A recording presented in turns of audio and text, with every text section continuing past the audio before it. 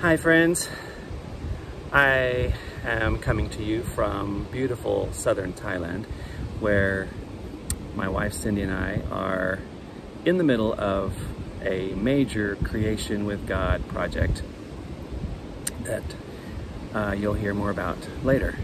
But at the moment, I'm in the middle of a run and I wanted to share this thought with you. Um, that I've been pondering for some time now because I just think it's so astounding.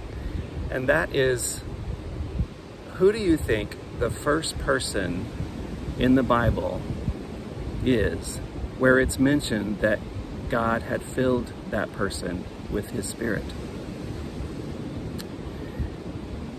It may not be who you think. because the first mention of God saying, I have filled this person with my spirit, is a man named Bezalel in the Old Testament in Exodus 31 as God was giving instructions to Moses about building the tabernacle. And God says that he has filled Bezalel with his spirit in order to do craftswork and artistic design. and then he goes on to explain in great detail the colors of the fabrics and which metals to use. and every aspect of the aesthetic design of this tabernacle.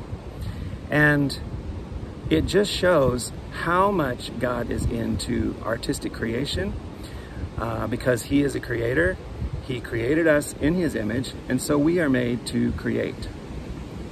And as we read these chapters, uh, all about this creation of the tabernacle, we see over and over how God had very specific ideas in mind about every artistic uh, piece and every color uh, and every fabric and every material used to make this tabernacle. And we also notice that unlike the beautiful natural creation that's behind me and that you may see around you, uh, which was only done by God, in this case, he is saying, this is how I want you to do it. I have the design, I have the colors in mind. I want you to co-create with me to create this beautiful tabernacle that we're going to make together. And I just think that is such a beautiful picture of the creative heart of God and how he wants us to partner with him in that.